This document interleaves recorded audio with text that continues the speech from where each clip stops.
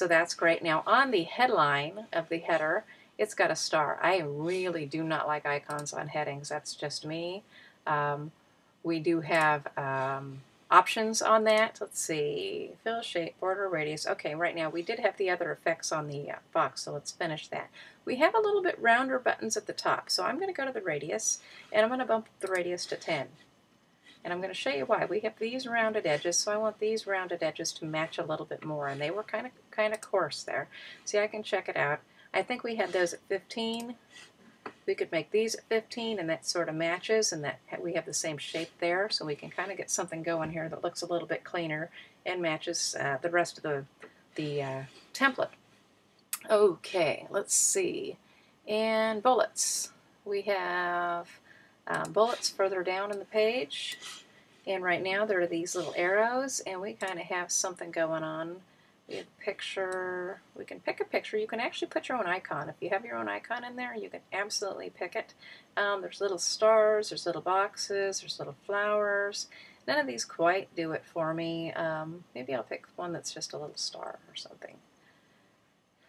Not a lot of stars to choose from there. Okay, I'm going to just go with a little triangle. Now you can also tell it you want the, the bullets uh, color of the bullet to be different. And you can pick it there. You can also change the color of the text for the bullets. I'm going to leave the color of the text for the bullets the same as the rest of the text. Um, font family, same thing. You can pick it and change it for each thing. You don't want to go, to go too crazy. Um, the other thing down in here that you want to look at is the table. I almost always, this once again like the picture, I turn the border off uh, because you can add it easier for something later than to take it off um, just by uh, regular HTML code in a poster page. Okay, in the header, we're in here. Header layout, we had figured that out. Header icon, I really hate header icons. That's just me. I want to take that out. And you can actually also make the header uh, text style a little bit bolder. I think that's a little light. I think bold would look better, absolutely. Okay, um, I'm pretty happy with the text look and that kind of thing. All right, now we go to the blocks. These are the blocks over here. Uh, I happen to like this style where the block for the header is bumping into the block for the content, but you can always pick your own. Uh, you can have a block here on the top, let me see, where you would just have a block and no body, no header with a block around the body. Uh, separate boxes. This is the same, should be about the same style, but without the rounded corners, and since we are using rounded corners elsewhere, I want the rounded corners here there, and then there's another rounded corner where things are separated. Oh, that's, that's where the rounded corners on the outside. Let's see what this one is. Another one with rounded corners. I think I'm going to leave it the way it was. I like that. Okay. Styling. Radius. Now we want to go to, yeah, 15 is too much for this, but let me show you what it looks like here. Uh, it's a little bit too much for where it's going to be. So let's go ahead and go back to the radius. Let's take it about 8. We still get the rounded edges. Now we also have block spacing, and we had a lot of spacing on the other side. So let's put some block spacing here so we get these, get the same feel basically as everything else. Uh, header text content, I want to lose the icon in this case. Um, you definitely could leave an icon. It's just, for me, if I found one I really liked, I might use it, but there's not one I really think is fabulous for right here. Um, if I were doing, oh, let's say a star. We have the little pencil star. See, I've got this whole so springy kind of look, so I really am just going to take it off icon because I don't have one. Now if I were going whole, whole hog and designing a website for a client or for myself, I would absolutely want to maybe have a custom icon there. Okay, so we have the blocks. Now the other thing is, do we want the block body to be colored or if we, do we want the block body to be white? And we can put the content, fill, we can do color, we can lighten it up, uh, it doesn't have white there anymore, so we can pick more colors if we want it to be white. Click OK. And we go white. And I actually think I liked it better with a little bit of color on there.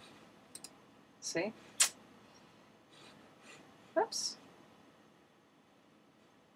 Lost my picture. What happened? Okay. All right. Yeah, let's pick this guy right there. All right. I just needed a little color. The little color helped. All right, so that's the box.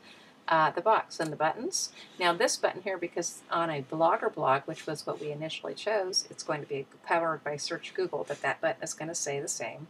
So the button they're talking about is down here in Sample Button. And I don't like those uh, little shadows behind the buttons. I don't know what it is about them that bug me. And we're not using that hard of a gradient for other things, so I'm going to go ahead and change the gradient to something softer.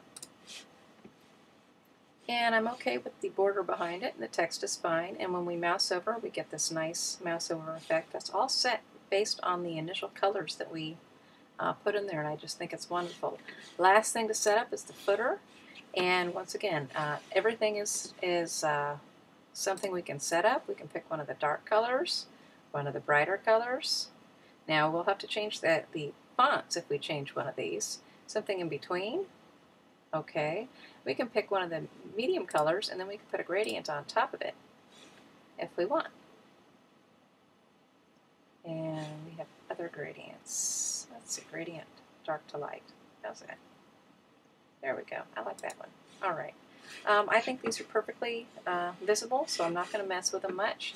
If, if we had picked a really dark color, we would want to change the font, uh, the text color, or the, and the hyperlink color to being so, something light. Right now the text is kind of dark. I can change this text to something that's a little bit lighter so that it matches more or less uh, what the rest of the text is. That's not it. Let's try one of these.